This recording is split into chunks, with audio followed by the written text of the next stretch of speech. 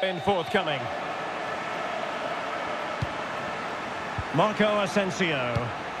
Deep delivery. And a goal to level it up late on here. Just look at the reaction. Well, let's just have another look at this. The cross from Carvajal is hit into a really dangerous area, and then the finish is fairly simple in the end. That's a good goal.